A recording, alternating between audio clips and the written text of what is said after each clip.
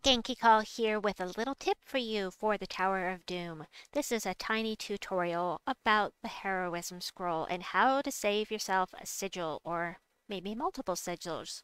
Sigils. So, I know because my guild does mapping that there is one room I need to do here and that is the unlock room.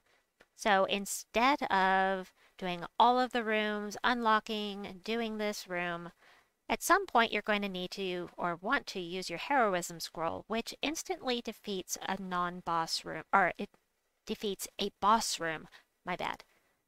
Right, so don't waste your sigil doing the unlock room. If you're going to use a heroism scroll, go straight for the boss room, use the scroll.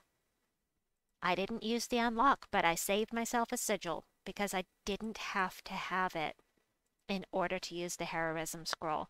So just a little tip for you. I hope that you've enjoyed this and that it helps you out in the Tower of Doom.